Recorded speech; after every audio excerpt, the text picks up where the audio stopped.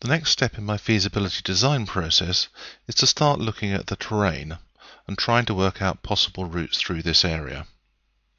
First I will create a set of triangles, so it's surface, triangulate surface, from the digital terrain model, create triangles. And that has created 128,000 triangles. Now I want to see those triangles displayed on the screen, surface, view, triangles. And here are those 128,000 triangles. If I zoom in, you can start to see some of the detail here.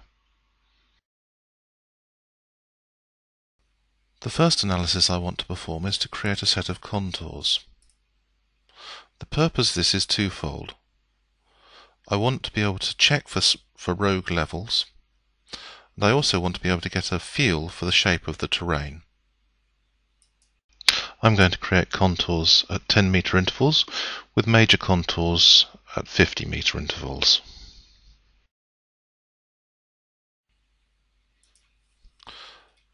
And here, as I zoom in, again you can see the contours overlaid on top of the triangulation. Contour annotation is provided at every major contour.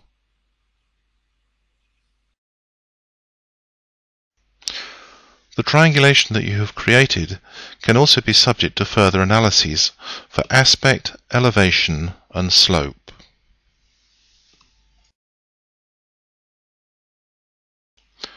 Color coding by aspect allows you to apply colors to the triangulation according to the direction that the triangles are facing in.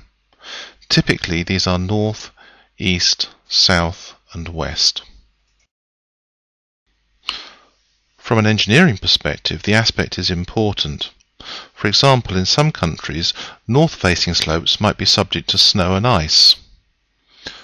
A south-facing slope might be subject to high heat gain, so these would be areas where you avoid cuttings which may increase the heat and temperature on the rail, which potentially could lead to buckling of the track.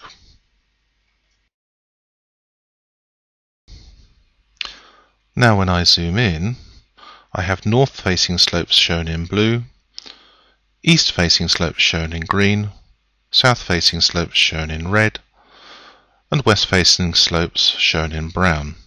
So it's very easy for me to identify the directions of each of the slopes.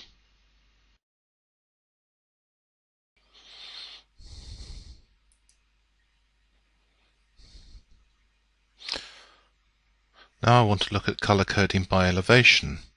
This gives me a very quick and easy way to identify the level bands across my digital terrain model.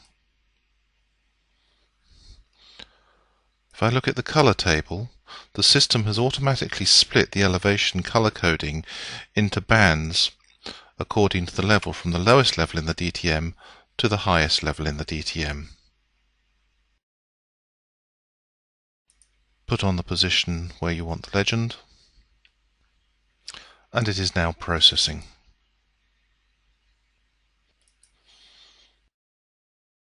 When I zoom in, now you start to see some of the banding.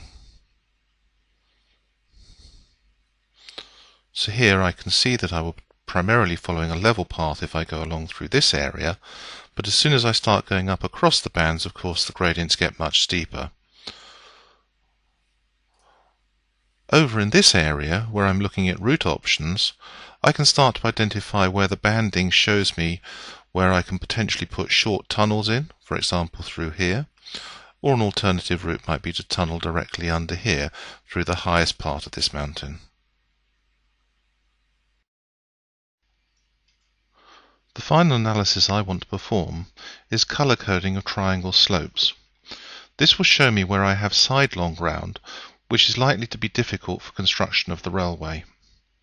For the purposes of my analysis, I have split the slopes up into different gradients. So if I apply that, put on the position for the legend, it will now go off and process the analysis and show me the different slopes. If I zoom in on the slopes, gentle slopes are shown in green, going through yellow, blue, red, purple, and eventually through to white. So here I can see that generally speaking the railway passing through gentle terrain. But when I look at the hilly area, the blue areas indicate slopes that should be avoided for the railway, as these will be difficult to construct on. And that completes the DTM analysis activities.